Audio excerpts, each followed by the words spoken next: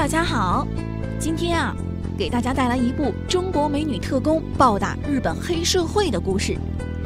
女主小美在十三岁的时候就被人贩子 M 夫人骗到了一个小岛上，和其余的四十多个女孩一起接受残酷的训练。六年后，当初的小女孩们都变成了美丽的少女。除了吃饭睡觉，她们一直都在训练，不仅有残酷的体能训练，还有化妆、模特步等训练。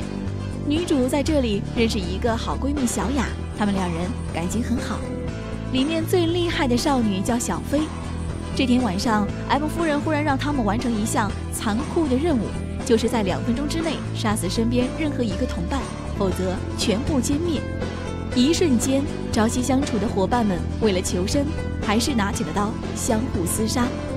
两轮之后，M 夫人终于在最后大发慈悲，留下了小美、小雅和小飞三人。本以为终于可以松一口气的三人，和 M 夫人一同晚餐。三人并不知道 M 夫人在三人的酒店下了药，并且事后三人就成了社会上闻风丧胆的中国美女特工。他们靠美色、唱歌、舞蹈等各种绝技，疯狂地刺杀各个犯罪团伙。在一次与白发男战斗的过程中，小美负伤，经过化验血液，身为警察的男主终于确定了女主小美的身份。男主已经追踪这起儿童失踪案很多年了，这次终于有了线索，立即找到了女主角他妈。恰巧碰到小飞过来刺杀女主小美的妈妈，因为 M 夫人不想让小美和他妈见面，男主很轻松的被小飞干倒了。眼看就要死了，小美踏破窗户而来，使出了一记暴雨梨花针，利用碎玻璃一下子射爆了小飞，并拜托男主送妈妈去医院。接着，M 夫人告诉小美，再给自己干最后一票，就放她自由。小美同意了。日本的黑社会老大山本找到了 M 夫人，拜托他除掉帮会里的一个人。其实，这个山本就是白发男的兄弟。找 M 夫人帮忙，就是想弄死 M 夫人的特工团队。小美毫不知情的就和小雅来到了敌人的包围圈。大屏幕上播放的都是 M 夫人被人干掉的画面。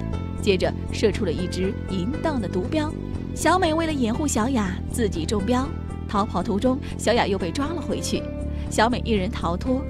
小美中了毒后欲火焚身，马上打电话找男主帮忙。男主本想正人君子一回，但还是没有抵挡住诱惑。解毒后的小美打算救回小雅，就孤身一人潜入了山本的基地。结果看到了奄奄一息的小雅在自己眼前被残忍的杀害了，小美一瞬间啊悲愤交加，战斗力爆表，与山本展开了激烈的打斗，两人不分上下，各自使出自己的绝招。小美还来到了山本的头上羞辱他一番，山本也不甘示弱地扔飞了小美，并痛打了小美。小美的眼睛看不见了，但是最后小美的致命一击还是让山本。彻底倒下，世界就和平了，男主女主也过上了幸福的生活。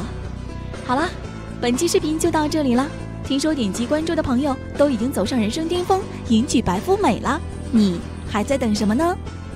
等什么呢？